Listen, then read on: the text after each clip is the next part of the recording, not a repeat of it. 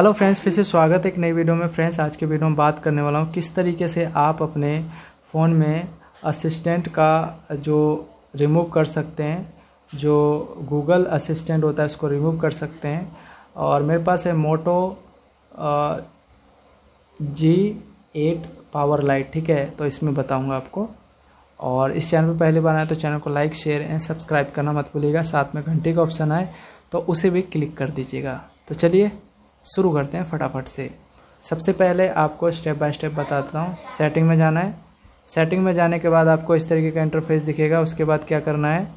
System में जाना है। सिस्टम में जाने के बाद आपको यहाँ पे इनपुट पे क्लिक करना है। उसके बाद जी बोर्ड पर क्लिक करना है। इस पर क्लिक करना है। और उसके बाद आपको यहाँ पे मैचिंग वाले पे क्लिक करना है। और यहाँ से इसको डिलीट कर देना है।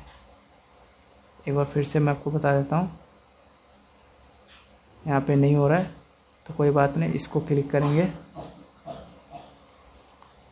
और यहाँ से आई एग्री पे क्लिक करके।